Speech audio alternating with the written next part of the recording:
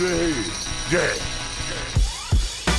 Бойцы, чемпионы и просто фанаты приветствую вас в очередном ролике. С вами канал новости UFC и по традиции все самое свежее и конечно же интересное уже ждет вашего внимания. Ну а вы, друзья, поддерживайте ролик своим лайком, комментарием, а кто еще не подписан, подписывайтесь. Ведь благодаря вашей активности я стараюсь сделать ролик максимально интересным, информативным и без всякой отсебячины. Ну а вам приятного просмотра.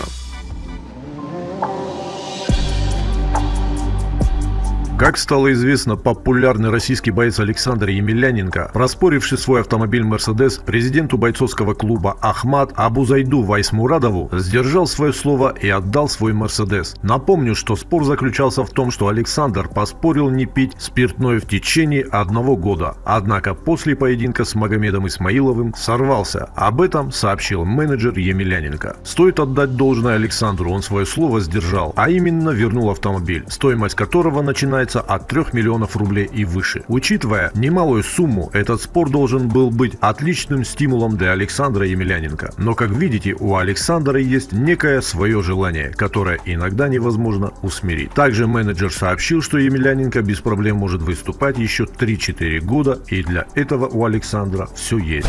Бывший чемпион UFC в двух весовых категориях Генри Сихуда обратился к именитому российскому борцу Бувайсару Сайтиеву, который накануне отметил свой 46-й день рождения. Сихуда написал «Поздравляю с днем рождения величайшего искателя всех времен Бувайсара Сайтиева». Написал Генри, сопроводив поздравления тремя золотыми кубками, символизируя три золотые олимпийские медали. Для тех, кто не знает или не помнит, сообщу, что в 2008 году на Олимпийских играх в Пекине Сихуда завоевал золотую медаль по вольной борьбе в весе до 55 кг, а Бувайсар Сайтиев там же стал обладателем третьего олимпийского золота в весовой категории до 74 4 килограмм.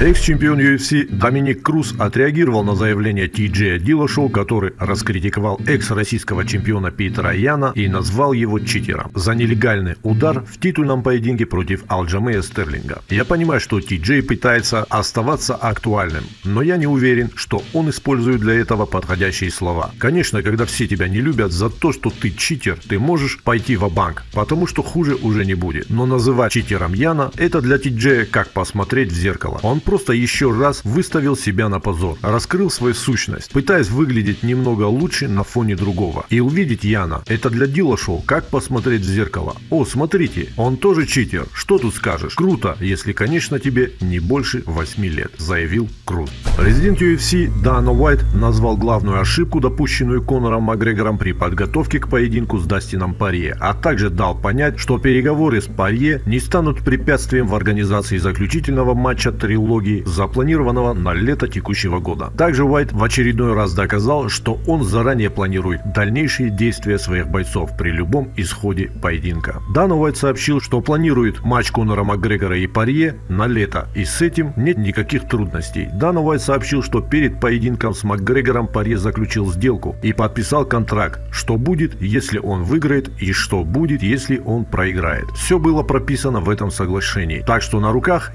действующий контракт. Также мы помним, что после поражения Макгрегор заявил о том, что больше не будет делать из себя хорошего парня. Но глава UFC не думает, что отсутствие психологического прессинга и трэш-тока со стороны Макгрегора сказалось бы на, на результате боя. Я не знаю, так это или нет. Только Конор может ответить на этот вопрос. Но я думаю, что он просто недооценил Дастина и смотрел ему за спину. Типа сейчас я по-быстрому с ним разберусь и займусь более важными делами. Но я уверен, что он подойдет с очень серьезным настроем к текущему поединку, нежели к предстоящему, сказал Уайт.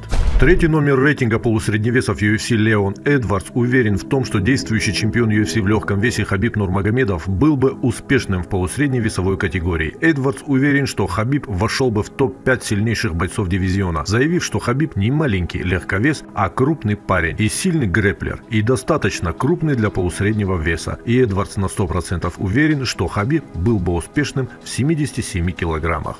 Ну далее российский экс-чемпион Петр Ян в своих соцсетях оставил философский пост, который в свое время написал легендарный боксер Мухаммед Али. А звучит он так. Невозможно, это всего лишь громкое слово, за которым прячутся маленькие люди. Им проще жить в привычном мире, чем найти в себе силы что-то изменить. Невозможно, это не факт, это только мнение. Невозможно, это не приговор, это вызов. Невозможно, это шанс проявить себя. Невозможно, это не навсегда. Невозможно, возможно. Слова Мухаммеда Али. Также Петр Ян впервые открыто рассказал, что произошло во время поединка и что думает о новом чемпионе Алджамей Стерлинге, назвав его бумажным чемпионом. Тот момент, когда бой остановили, я все еще не осознавал, что сделал что-то незаконное. Я пытался понять, что происходит. Затем я увидел запись, и я увидел, как в этот момент доктор вошел в клетку, и рефери разговаривал с ним. Рефери говорил доктору, что это колено незаконно, и он собирается дисквалифицировать меня, а Алджамей просто сидел рядом с ними. Он слышал, что рефери говорил врачу, и после этого мы видели, что Алджамею становилось все хуже и хуже с каждой секундой. И так он начал валяться на земле. Вы видели первые несколько мгновений после того, как колено было нанесено. Он пытался восстановиться, но потом я чувствую, что он начал преувеличивать. Он начал играть, потому что он услышал, что сказал рефери. Я чувствую, что он мог бы продолжать, но это был его выбор. Затем Алджамейн дает интервью после боя, рассказывает о том, что происходило. Так что для меня очевидно, что он очень хорошо знал, что произойдет, что он делает. И это его осознанное решение получить победу дисквалификацией. UFC уже связывались со мной и спросили, когда я снова буду готов драться. И я сказал им, что буду готов через месяц-два. И как я уже сказал, я уже наказан за то, что сделал. Я уже потерял пояс, я потерял бонус за платные трансляции и все, что связано с тем, что я был чемпионом. Теперь единственная логичная вещь – это реванш. Я не собираюсь ему ничего говорить. Но вы помните, перед боем он многое говорил о том, что я бумажный чемпион. Теперь мы видим, кто тут бумажный чемпион. И это он. Я бы даже не прикасался к поясу, выигранному так. Мне было бы стыдно с ним фотографироваться. И я чувствую, что Стерлинг фальшивка, сказал Ян. Ну а далее назван следующий соперник Тони Фергюсона. И как стало известно, бывший временный чемпион UFC в легком весе Тони Фергюсон вернется в октагон 15 мая на UFC 262 в Лас-Вегасе, а его соперником станет девятый номер дивизиона Бенил Дариуш. Ну и в завершении, глава Американской академии кикбоксинга Хавьер Мендес оценил выступление Ислама Махачева на UFC 259, а также рассказал, чем российский боец отличается от чемпиона и своего друга и товарища по команде Хабиба Нурмагомедова. В целом я считаю, что Ислам показал фантастическое выступление. Я бы хотел, чтобы Хабиб в своих боях делал то же самое. Слушал меня, потому что обычно Хабиб меня не слушает. Когда он первый раз дрался за титул, он много времени провел в стойке, а я этого не хотел. Также Хабиб дрался в стойке с Конором, он дрался в стойке с Майклом Джонсоном, и он игнорировал меня большую часть времени. Но в своем последнем поединке Хабиб меня не игнорировал и сделал все так, как я хотел. А вот Ислам делает это постоянно. Махачев настоящий профессионал. У него высокая бойцовская IQ и замечательный грэплинг, как вы могли видеть. Так что да, он заставил гордиться собой всю команду. План отца был абсолютно эффективен. Также Мендес оценил вероятность организации поединка между Исламом Махачевым и Тони Фергюсоном, заявив, мне нравится эта идея, учитывая всю историю несостоявшегося боя с Хабибом. Но скоро начинается Рамадан, а я слышал, что Тони хочет драться как можно скорее. Я не думаю, что Тони должен кого-то ждать. Он рвется в бой, а мы не будем готовы к тому времени, когда он хочет драться. Но я надеюсь, мы получим в сопернике топового бойца, кого-то типа Чарльза Оливейры или Рафаэля Досаниуса. Ведь бой с РДА был назначен, но не состоялся. Так что почему бы не закрыть этот вопрос? И сейчас Абдель-Азиз ведет переговоры с UFC, и я надеюсь, что